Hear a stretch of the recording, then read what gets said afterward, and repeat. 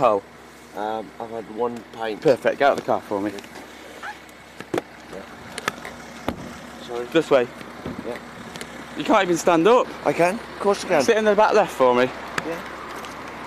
Why are you said I can't stand up? Sit in the back. Do you have a driving license with you? Or is it in the car?